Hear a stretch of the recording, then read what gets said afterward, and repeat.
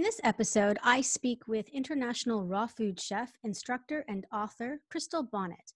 Key points addressed were Crystal's training as a raw food chef and how her work seeks to incorporate aspects she found missing in her own culinary education as she works with raw food development and businesses that deal with raw foods. We also discussed both of her ebooks as well as her in depth online raw desserts course. Please stay tuned for my fascinating talk with Crystal Bonnet.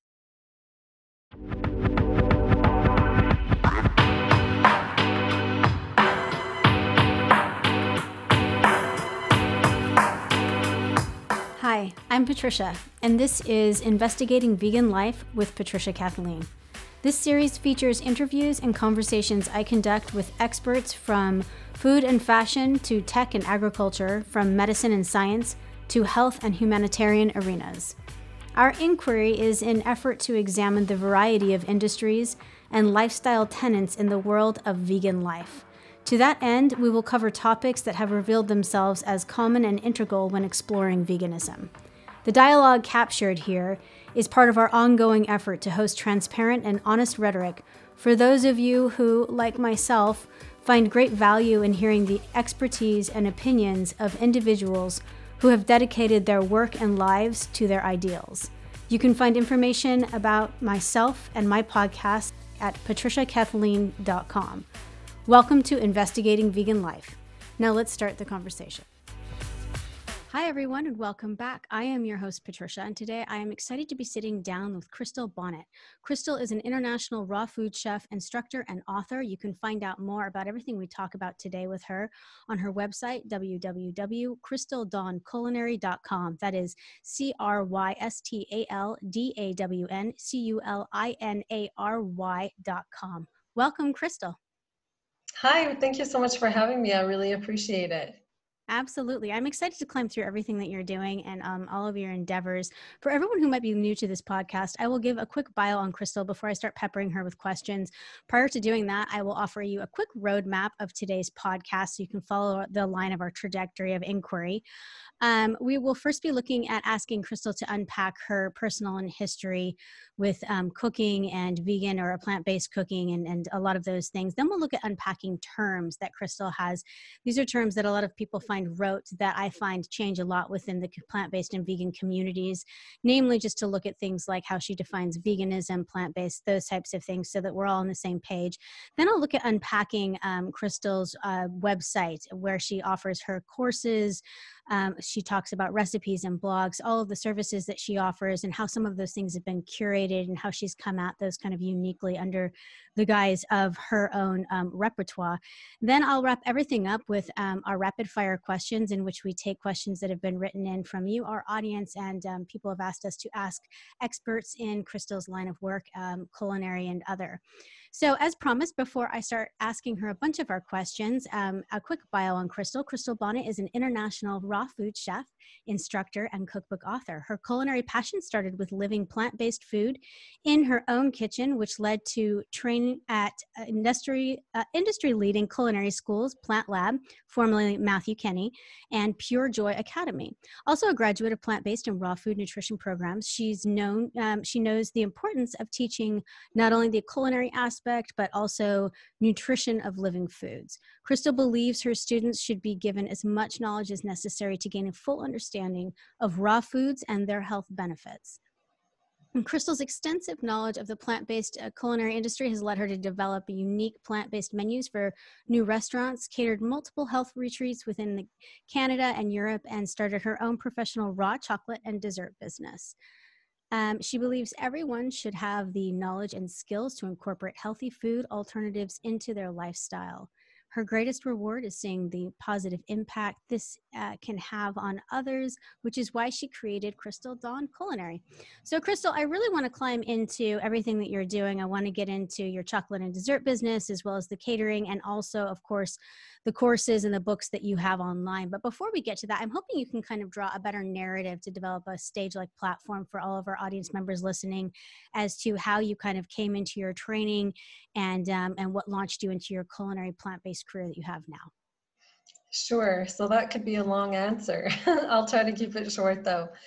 Um, so my diet journey has been a very long progressive one it wasn't an overnight you know i didn't just wake up one day and decide i want to become plant-based i don't want to eat anymore it's been progressive since i was five years old all the way up until i was 32 so during that time i had stopped in my younger years i had stopped eating meat red meat and then i was just eating white meat up until my early 20s I the reason why is because I could never at a really young age I didn't understand the concept of eating why we ate dead animals. It didn't make any sense to me. And at that time at 5 years old, I mean you don't really think about the ethical aspect or the environmental aspect or the health benefits.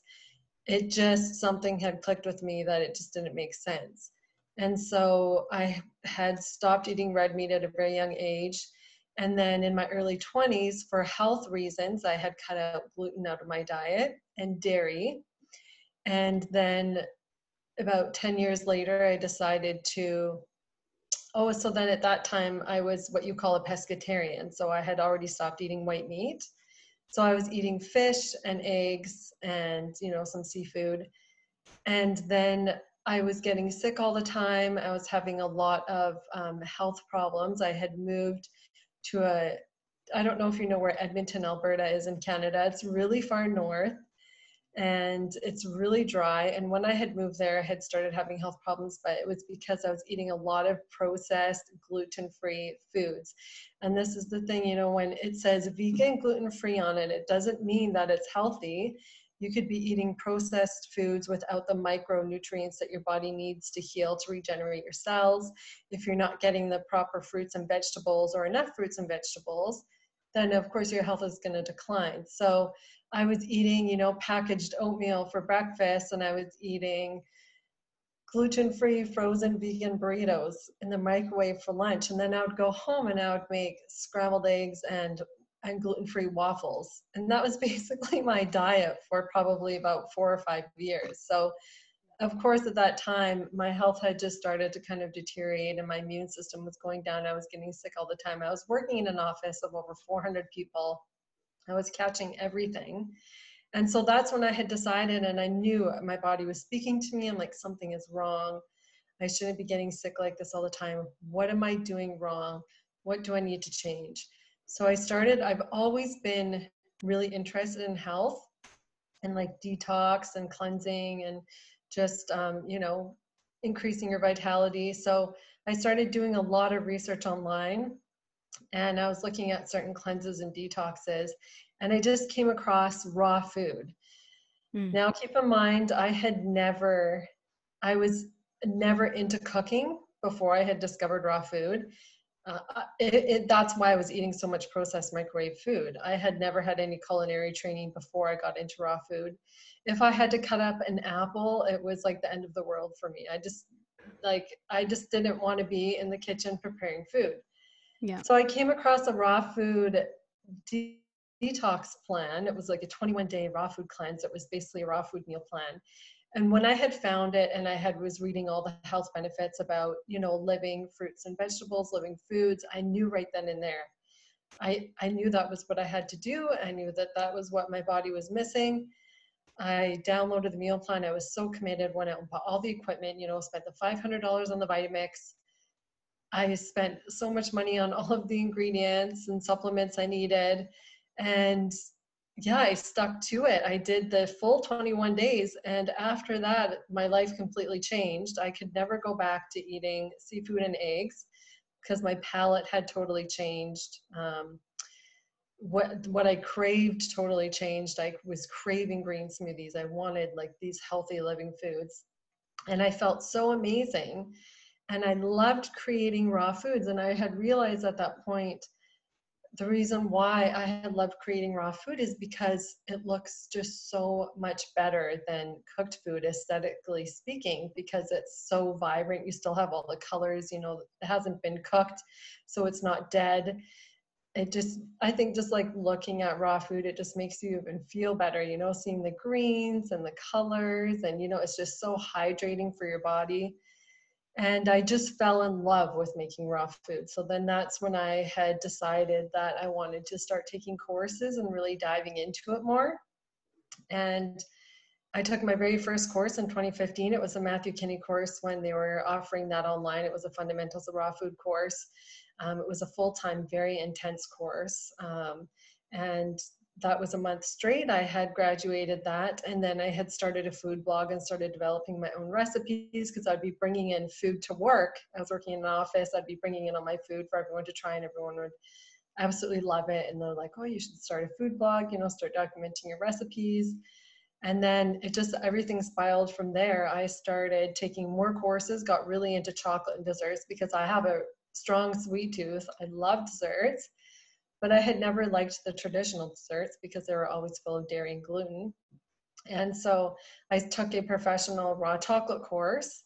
And um, that's when I had started my farmers market business in Edmonton.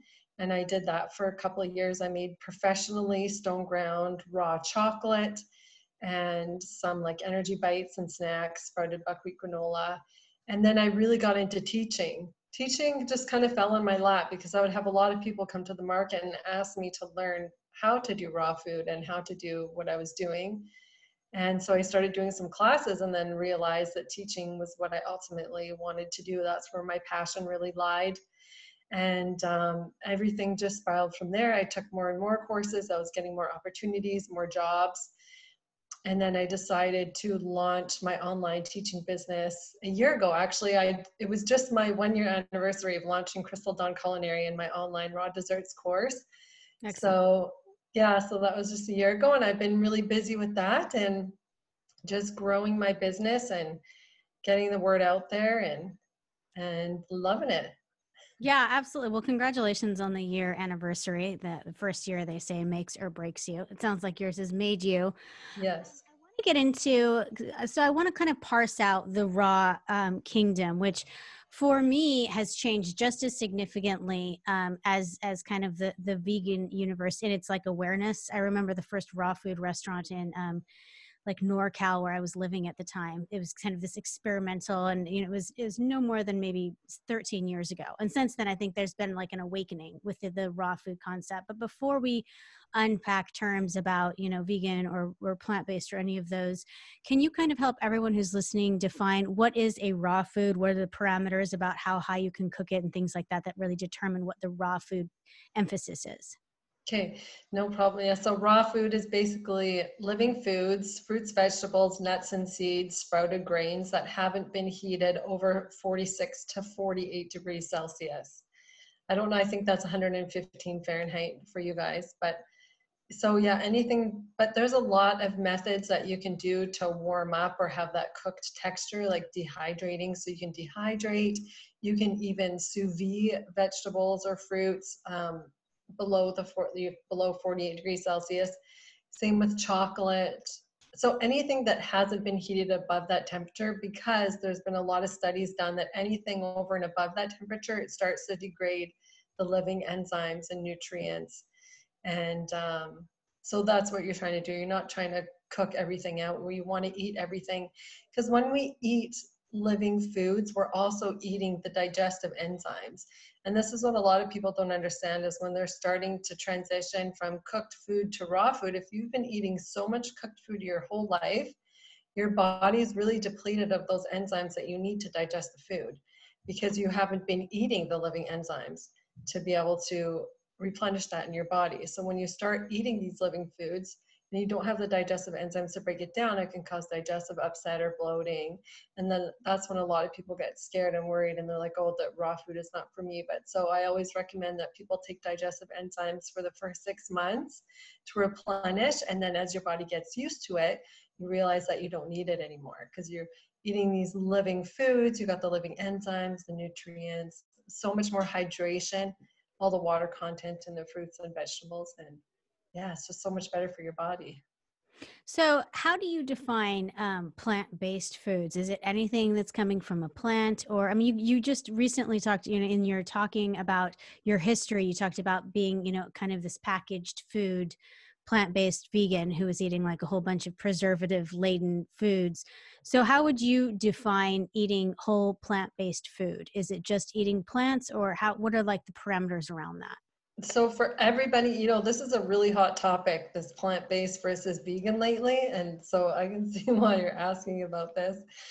And so everybody has their own definition on plant-based and vegan. Um, and everyone's going to tell you something different. So my a lot of people believe that plant-based is eating a high plant diet, but still eating some animal foods and eggs a few times a week. I disagree with that. When if you say that you're plant based, it means that the base of your food is you're eating plants and eggs don't come from plants animal products don't come from plants so i like to use the term plant-based because i feel like vegan has a little bit of a negative connotation around it especially with um, a lot of like the vegan activism and so I don't like to use the term vegan. And also, I believe that when you say you're vegan, you're living a fully 100% vegan lifestyle where you where you've eliminated all animal products not just in your diet but in your home in your cleaning products your skincare products your car you know no car no leather seats in your car no leather clothing at all so to me that's what I define as vegan. And so, which is why I like to use the term plant based because I just feel like it's a lot friendlier um, and it's just a lot less scary than using the, the word vegan. So that's, I call myself plant based because I mean, I eat a plant based diet. I don't eat animal products. Um, and yeah, that's my, that's my feeling on, on plant based and vegan. Okay, and conversely, kind of the same issue in the raw kingdom, which um, I've come across some people. I had always thought initially that raw just inherently meant vegan, you know, that it was fruits and vegetables. But I came across some some raw food advocates that were eating raw meats, ceviches, and um, and things of that nature, and still calling themselves raw because they weren't heating the food up.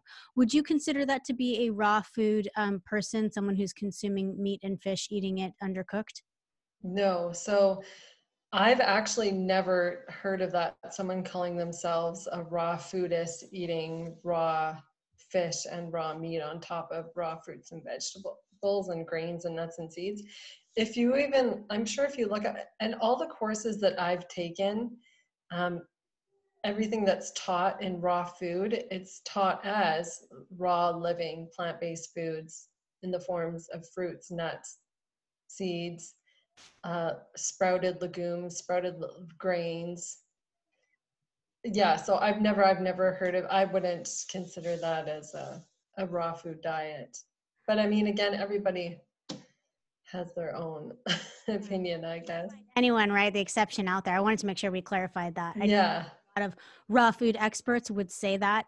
Um, and so I think those fringe people kind of need to be called out and maybe just um, come up with a different name. Um, yeah. Wondering again, uh, before I climb into your current endeavors, I do just want to get some of these hot topics off of the air. Raw food um, chefs have been accused of using nuts really heavily and excluding people who are um, not accused, but assigned this idea that they're nut heavy. And so people who have nut allergies could not um, necessarily become raw food um, practitioners. And I'm wondering if you agree with that or if you feel like anyone can kind of adapt to anything. And if you yourself and your endeavors have taken that kind of people can be allergic to anything, you know, but nut allergies certainly have seen a, a, a very uh, sharp increase over the past decade. Have you looked at that or um, ever had that conversation with your colleagues? Yeah, so I mean, that is a big topic and a big conversation around raw food, and especially people who are immersed in it. Um, I try to come up with a lot of nut free recipes. Actually, the I just we had just launched with some of my colleagues a seven days, seven chefs raw food meal plan in May. And for my day, so we had seven chefs each come up with recipes for one day um, five recipes in a day, and all my recipes were actually nut free. Um, so it it totally depends on the chef and the person. I mean, uh, of course, there's a lot of nuts being used in raw food, but you don't have to use a lot of nuts. There are a lot of alternatives. I mean, sunflower seeds, you can achieve a really creamy consistency with sunflower seeds, the same as cashews. So, like, I make a lot of sunflower seed sauces, cheeses. Same with hemp seeds will also give a really creamy consistency. You don't have to rely on cashews either. Um, so it really depends on the person, I guess, how much knowledge you have to be able to substitute ingredients where you don't have to use a lot of nuts. I mean, there's also a lot of raw foodists that rely heavily on oils and some raw foodists that don't. Um, so again, it's it, just their preference, their knowledge, what they've been taught, what they can do, uh, what they believe. Um, but there's definitely a lot of substitute. You don't. It doesn't have to be super nut heavy. There's you can use Irish moss paste to replace nuts, which is a vegan gelatin alternative, which is a natural seaweed. Um, yeah, there's a lot of options and alternatives. So, and also, I wanted to clarify that as far as utility and utensils and carrying vessels like oils and things of that nature, can you be a raw foodist even incorporating things that were in there to extract them, heated up to a certain degree, or does it always have to include the entire process as well, um, abiding by those guidelines? Yeah, so that's a really good question. And I talk about this a lot actually because um, in a lot of raw food recipes, there are still some ingredients used that are not 100% raw. For instance, a lot of people rely heavily on agave and maple syrup. Those are not raw at all. Right. They're heated to such a high temperature for it to be processed. Coconut sugar is, of course, not raw because it's heated to get it to be crystallized to, to produce coconut sugar. So, to me, again, like everybody has their own definition or term of what raw can be. For me, it is living, whole, plant based foods in their most purest form, in the healthiest way possible that you can consume them. Um, for example, Irish moss paste, I was just mentioning that because that's a really good substitute for nuts. It, that's you have to incorporate hot water in order to activate the component in it that makes it a gelatin that activates the setting agent. So if you're using agar, Irish moss, you have to use hot water, so it has to be heated. Cacao, this is a really um, controversial topic as well because cacao, cacao, the difference between cacao and cocoa, cacao means unroasted, cocoa is roasted. So if you're buying unroasted, it's still a lot healthier. You're still getting a lot more of the health benefits as opposed to eating cocoa but during the process of processing cacao products and during the fermentation process, it, it is heated way over and above the 48 degrees Celsius limit. Um, there's very few truly raw cacao products that you can actually buy that have been cold pressed. I haven't gotten been able to get my hands on any of them here in Canada. Um, but I mean, again, it's all about education and people being able to make up their own minds about ingredients and this is what i really teach in my course and what i really teach in my classes because i like to tell people where the ingredients are coming from how they're processed. Cashews it's really hard to get truly raw cashews. Cashews are heated at a really high temperature to be able to remove the shell. And cashews again is one of those ingredients that are really controversial because they're not a very sustainable um, I wouldn't even call they're not a nut. They're actually a seed that comes from a cashew apple and so you can think about how many apples, cashew apples would need to be destroyed to get one pound of cashews even because you need one apple to get one seed from it. Um, and then they're coated with the same resin, the same toxin that's on poison ivy. So a lot of these workers and farmers that are um, farming these cashew seeds, they're getting all of these burns, they're getting a lot of skin issues. Um, and you have to heat the shell at a really high temperature to remove that toxin to be able to open them. And you can get truly raw cashews and ones that are, you know, more sustainably and, and humanely grown and harvested. Um, but again, they're a lot more expensive. They're hard to come by. So again, I just really like to educate people on those topics. So again, they can make up their own mind and try to source ingredients from um, a better source that they feel comfortable with.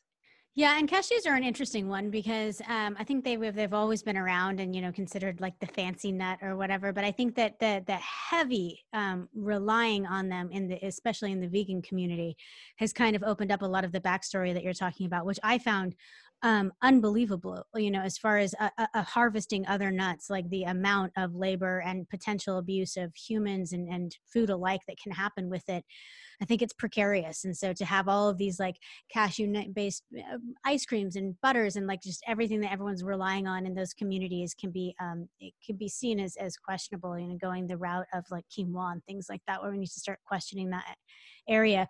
I do want to just kind of, you just dropped a breadcrumb that I quickly want to grab um, about the cacao versus cocoa because you have a chocolate um, industry. And I do want to get to your online work first and things like that. But how have you personally solved that within your chocolate and dessert um, endeavors? This, this idea of heating it up too high with cacao versus cocoa. What, what have you landed with?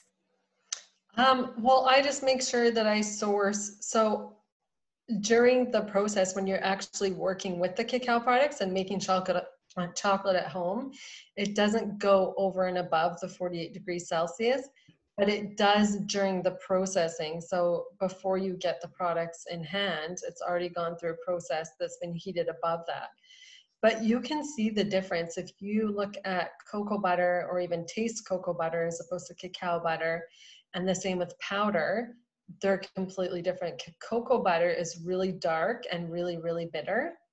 And cacao, because it's been roasted and heated so high. And cacao powder is a lot lighter and it's actually sweeter in taste. And I actually prefer it a lot better. And I find too that when I eat cacao, it doesn't give me this um, really strong high that the roasted cocoa does.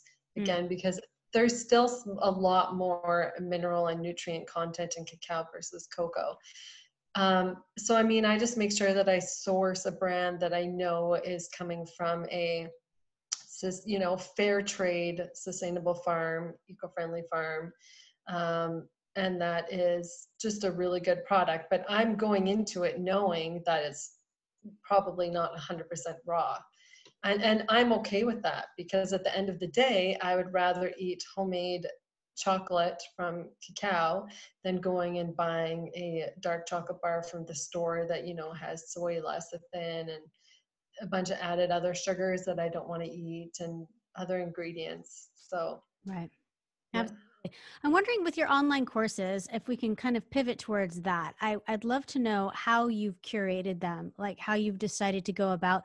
There's a myriad of ways when you get into, um, you know, um, pedagogical lenses as to how to look at knowledge in general, let alone food and the culinary world. So, can you tell us a little bit about how you've developed and curated them and who they're designed for? Sure. So, right now I offer my one online raw dessert chef certification course. So I have my one main course and I designed it um, last, year it was a, about a year and a half in development. But I wanted to create an online course because I knew at that time that it would be a good business venture to go into, but also I wanted to reach a wider audience than just doing live classes at home um, or live classes wherever I was teaching them. So I decided to create something based on what I would want as a consumer and what I would want in a course because all of my culinary training and everything that I had done up to that point had been online. I had never taken in person training actually until last year. And so I knew a lot about online culinary courses. I knew what I didn't want, I knew what I would want in a course.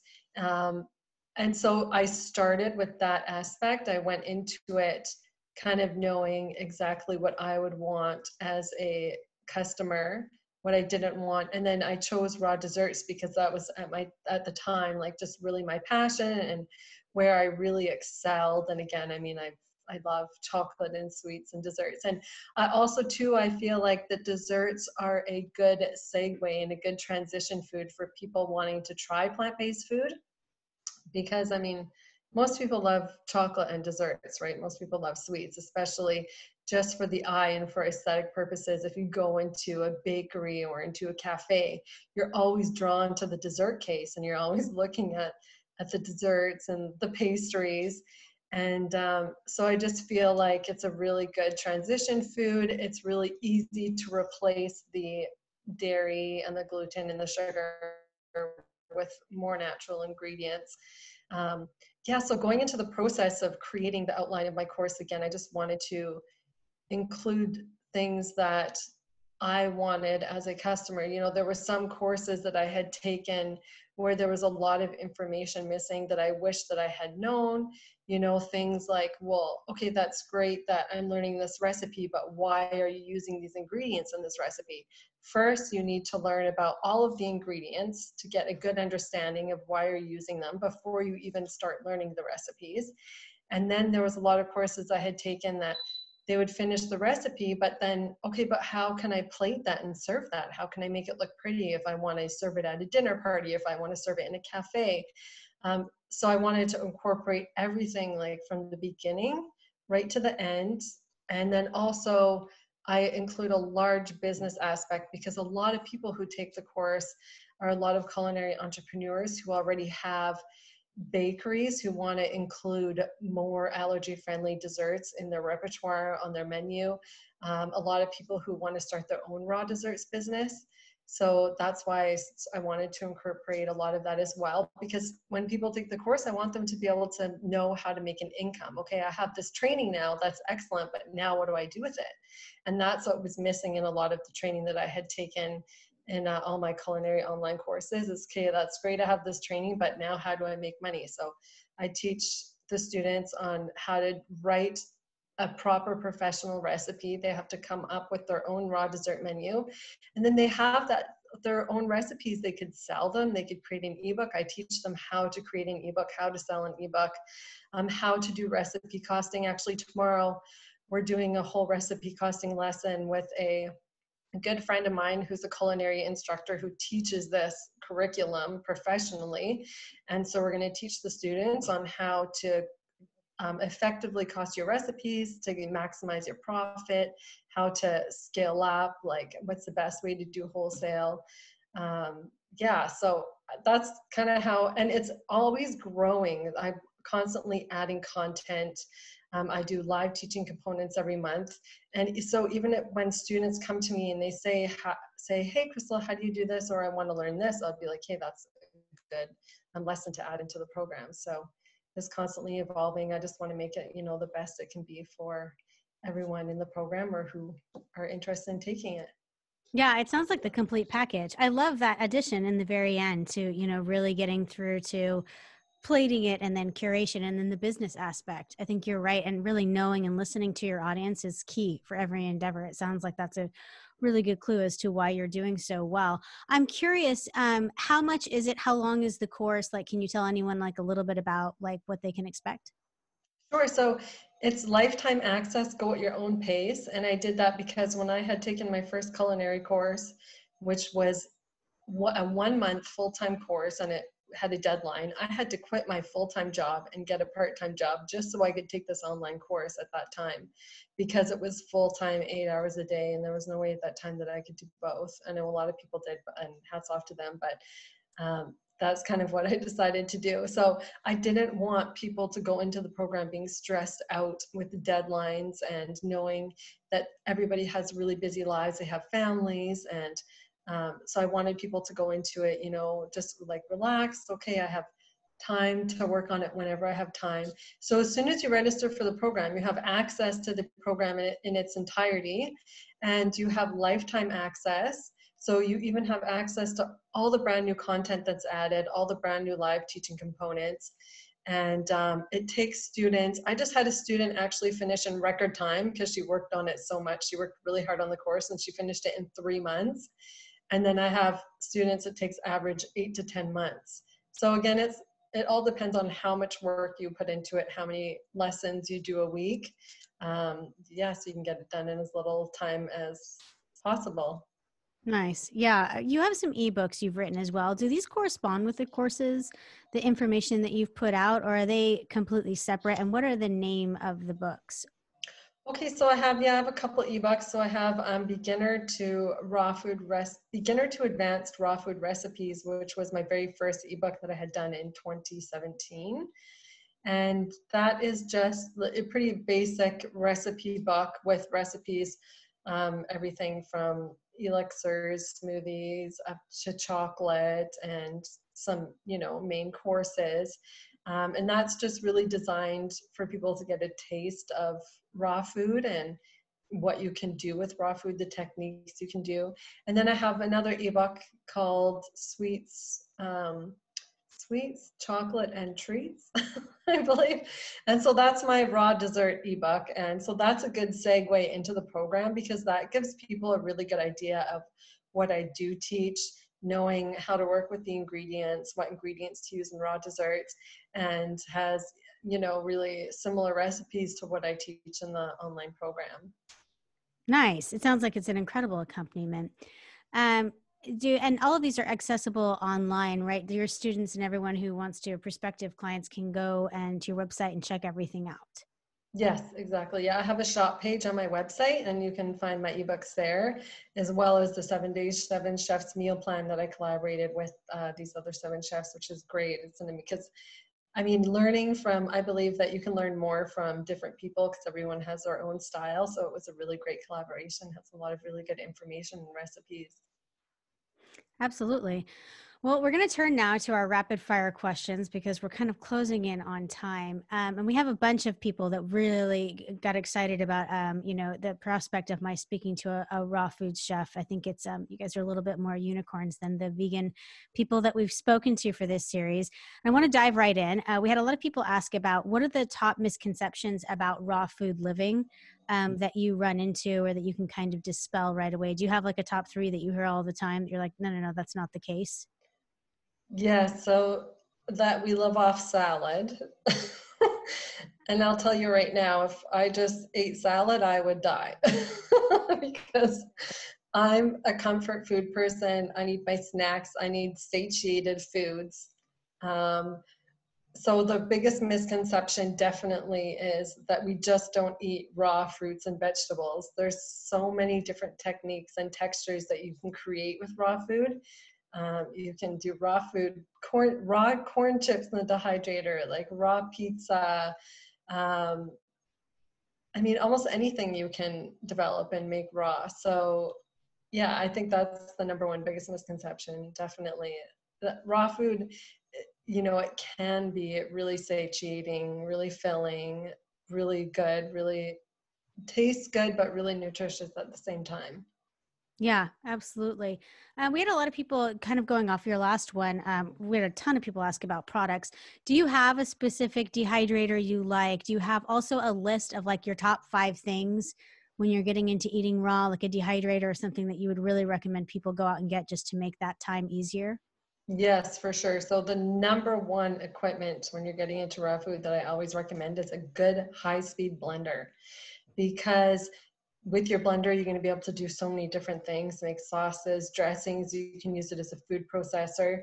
And for a high speed blender, I always recommend the Vitamix. Um, there's also Blendtec Omni Blend that are really good high speed blenders as well. I've used the Blendtec, but I still am like the Vitamix is my number one blender for sure. And then um, certain tools, like you don't always have to get a dehydrator right off the bat that's kind of like the last thing I recommend. So then I would recommend like a spiralizer. So, which is, you know, a really good tool to use to make vegetable noodles and just do different textures of food. Um, a really good knife because also too when you're cutting like say watermelon or a lot of these fruits and vegetables you do need a really good sharp chef knife to be able to cut them properly. But also like what i was saying to create textures and create like different shapes in your food so that your your salads or whatever you're eating is not boring. Um, a good food processor well i shouldn't say it doesn't have to be a real i started off with a $50 food processor on amazon and it lasted me four years before I finally bought a professional one. And a food processor is really good because you can make your own nut butters, you can do your own energy bites, energy bars, like your pie crust, doughs. You can shred all your vegetables and prep all your vegetables for the week. Um, and then fifth one, uh, a good, oh, you can, like another tool is a mandolin slicer, which is, you know, a mandolin you can use to thin, thinly slice vegetables or fruits. And then definitely like the dehydrator is the last thing that I would recommend because dehydrators, I would definitely recommend a good one, which is I love using the Excalibur because it has the large square trays. They have a 10 year warranty. They're just really easy to use, but they are a little bit expensive. So Um, but they're great to have. Like if you're a comfort food person like me, then when you're getting into raw food, definitely get it to, or if you live in a really cold climate, because it's a really great way to warm up your food as well. Nice. Yeah, absolutely. Um, we had people write in asking what your top pieces of advice are for someone just getting into raw food. So I don't know if it goes along with these utensils that are um, these uh, cooking machines that you've just mentioned, or do you have like other key pieces of advice that you tell someone who's just kind of looking to getting into that lifestyle of eating? Yes. So start slow. Don't go cold turkey overnight. You want to slowly transition. Also, too, because for someone who's been eating, if you're coming off a standard American diet and you decide you want to go into raw food, you're going to have a lot of detox symptoms. And again, you're going to get um, you're going to get negative feelings about it and then you're probably going to transition back to your old diet so you want to start slow start taking out maybe a couple things a week like first remove dairy then you can remove meat, you know, then you can remove gluten. Um, start slow with maybe having a green smoothie in the morning. Um, maybe start incorporating raw vegetables into your cooked meals, like kind of a raw cooked fusion, and just go slow from there. And then you will slowly, gradually transition into um, if you want to do 100% raw. I myself, I don't eat 100% raw. But for me, cooking is very basic. So cooking would include steaming or using my rice cooker to cook grains. I mean, I don't even remember last time I used my oven at all. Like I just don't like baking or roasting. I just don't even like using the oven. Um, but so it's really good you know you're using a steamer lightly steam your vegetables because that will also help with the digestion and to be able to break everything down again if you don't have the digestive enzymes to break down the living foods in the beginning um, using your rice cooker and um, yeah that's kind of what i would recommend for sure Lastly, we had people ask about, um, there were kind of a myriad of questions. I'm going to group them all into one, but a lot of people were very curious about um, the commitment and hours in the kitchen. Like, so there were a lot of questions about can you eat raw and, you know, and not spend more than like a half an hour per meal in the kitchen? Can it be like this easy conversion or is there a baseline that you just have to accept? And that is, and actually, that should have been one of the misconceptions as well, because it actually is a lot quicker to make raw food than it is to cook food. Because when you have to cook food you have to wait for it to be cooked or you're checking on it you're stirring it you're flipping it you're doing whatever. When you're making raw there's so much preparation that you can do where you can just make it really quick. Right now i am so busy that i barely have time to make food for myself but because it's summer and it's really hot i'm still managing to eat 100% raw but i'm barely spending any time in the kitchen because for instance you can prep a lot of your vegetables beforehand. You can wash chop all your lettuce store it in the fridge. You can shred a ton of vegetables. You can make a salad dressing or a dip and that will keep three to five days in the fridge in a sealed container. So you just have stuff that's quick grab ready to go. When you dehydrate and make things in the dehydrator you just make it throw in the dehydrator and you don't even have to like worry about it for the next however many hours until it's done, right? So if I'm making granola or something like that, I just put it in the dehydrator. I might have to flip it once over and then it's done. And then I have a whole bag of granola I can use for the next whatever few weeks. Um, yeah, so it's definitely not in the beginning, obviously, with anything new, you're going to think that it's more time consuming because you're learning, but that's with anything, not just food. So just like be patient with yourself and the more you do it the quicker it's going to be and it just it honestly doesn't take that much time at all absolutely I, that that's music to my ears. yes. or raw. I love it. And I love the raw restaurants because I think they kind of open you up to what you can do. You know, sometimes you're brain can kind of swim. And it sounds like your course does that for people as well. Well, Crystal, we are out of time today, but I wanted to say thank you so much for coming on and giving us all of your information and um, just taking the time to kind of glean your expertise from what you're doing. I really do appreciate it. Yeah, thank you. I really appreciate you having me and uh, giving me this opportunity. Thank you so much. Absolutely. For everyone listening, we have been speaking with Crystal Bonnet. She is an international raw food chef, instructor, and author. You can find out more about everything uh, regarding her books, her course online, as well as her background information, information about recipes and food the raw kingdom in general, at her website, www.crystaldawnculinary.com. Thank you so much for giving us your time. And until we speak again, remember to stay safe, eat responsibly, and clean. When you do, eat, and always bet on yourself. Slancha.